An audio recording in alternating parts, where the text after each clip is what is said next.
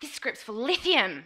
That's right. They're to be taken three times. I'm not taking that shit. Write me a script for a hypnol. I can't do that, madam. Fuck it then. I'll go buy my own drugs.